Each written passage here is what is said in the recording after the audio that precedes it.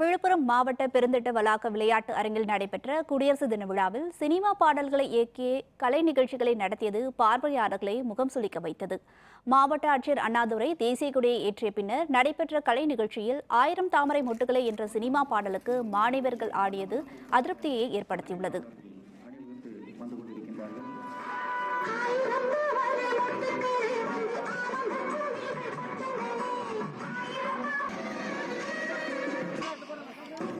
Thank you.